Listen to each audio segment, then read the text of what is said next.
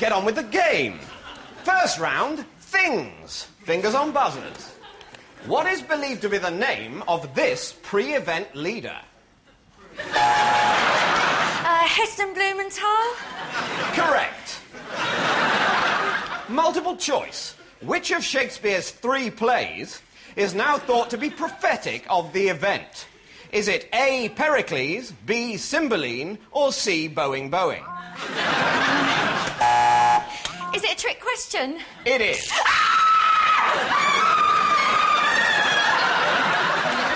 oh dear, oh dear, some horrible memory from the event, no doubt. We all get them. Yes, indeed. By night, we all get them. Please, everyone, remain indoors. So while Sheila's being electrocured, let's see what Peter's won. That's right. It's fuel.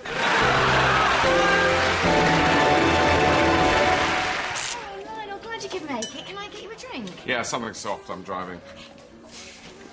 Parking's an absolute nightmare around here, isn't it? Had to reverse into the tiniest of spaces. Still, I managed it. I mean, parking's not exactly brain surgery, is it? and I should know. Why is that? Are you a doctor? Careful. Not a doctor. I'm a brain surgeon. Big difference. Big difference. Yeah, I actually know a joke about this. What's the difference between a doctor and a brain surgeon? One's not exactly brain surgery, the other is brain surgery. Um, so, uh, what do you guys do? I'm an accountant. Oh, that's good. Yeah, I could do with an accountant. Filling in those tax forms can get really confusing, can't it? Still, it's not exactly brain surgery, is it? I mean, brain surgery, believe me, is very complex. Are you an accountant too? Uh, no, I work for a charity. Oh, that's a very selfless job, isn't it? I really admire you. I don't think I could ever do what you do. I say that because it's emotionally draining, not because it's hard. I mean, it's not exactly brain surgery, is it? Which, as a brain surgeon, is what I do. Lionel, here's your drink. Lionel's a brain surgeon, you know. Yeah, he mentioned it. Oh, Jeff, they keep you late at the Space Centre. As always. And this food round. Uh, have you met Lionel? Uh, no, hello, Lionel. So, Jeff, how do you earn a crust? Uh, well, I'm a scientist. I, I work mainly with rockets. It's, it's, um, it's pretty tough work. Um, what do you do? Why, I don't mean to boast, but uh, I'm a brain surgeon. Brain surgery. Not exactly rocket science. is it?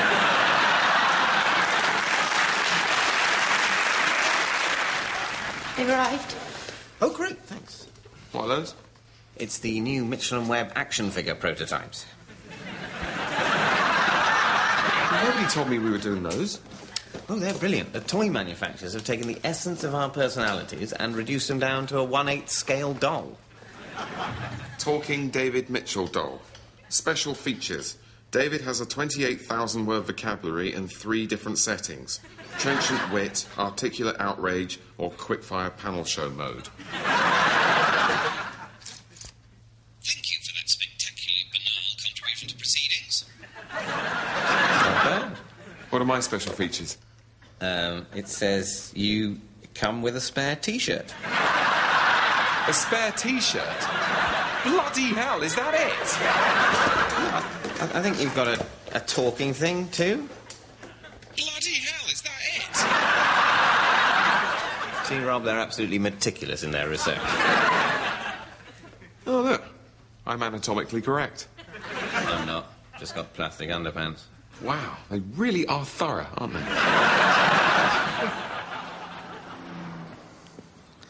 I fucking hate you. I said I fucking hate you, you stupid little bastard. Oh. Walking along next to a proper police officer in your crappy little community support costume like that means something, but it doesn't. Look, you can just flip him well. Oh, yeah, flipping. You do well to choose your words carefully. Swearing at a real police officer is not a very good idea, is it, Sonny? Oi, now then, excuse me, listen. You shouldn't really be. Uh... What the hell do you think you're doing? Well, he was riding his bike on the pavement. Sorry. You stay out of this. Who told you you could grab his arm? Well, I just thought. What do you think that is? Police brutality? I don't think I was being particular. That's not police brutality, that's just community support brutality. That's just normal brutality. Do you want to see some police brutality? That's police brutality, something you would know nothing about in your official capacity as just some guy. On your way.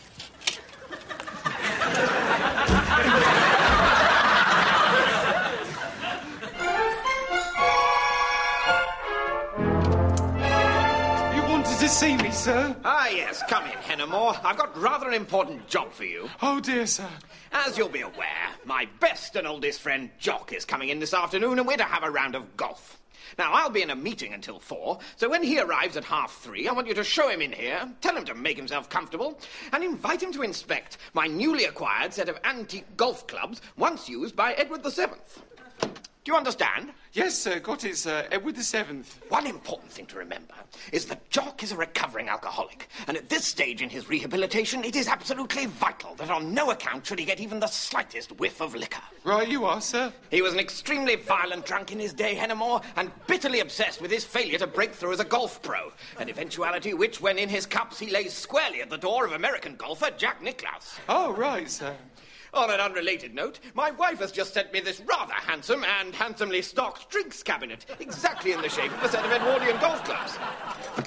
Oh, that's nice, sir. Isn't it? Now, you've probably already thought of this, but on no account should you show the fully stocked drinks cabinet to the violent alcoholic Scotsman instead of the set of golf clubs. Absolutely, sir. Okay, well, I'll just pop them both on this lazy Susan for now. And remember, I don't want any screw ups like last time. It's been a difficult year for transcosmic corridors, and the last thing we need is any kind of fracas. Don't you worry about it, sir.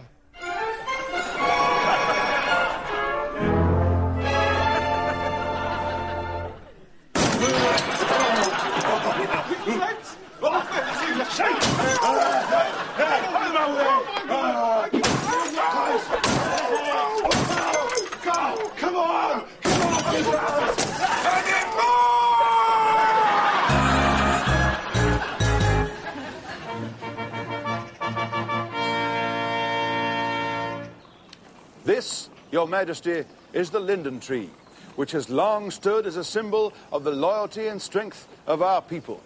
It is our hope that as a token of friendship between our two countries, Your Majesty will accept the gift of 20,000 such linden trees to be planted throughout your kingdom's many public parks and spaces.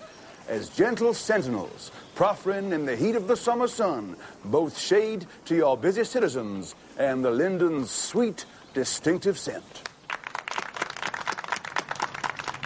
Ambassador, we thank you. And it is a most distinctive scent. Prime Minister, may we have a word? Excuse us, Ambassador. Your Majesty? Can you smell cum? What? Can you smell cum? There's an incredibly strong smell of cum. Your Majesty. I was wondering if it might be the tree. It's not you, is it? No, it is not me, Your Majesty. But I don't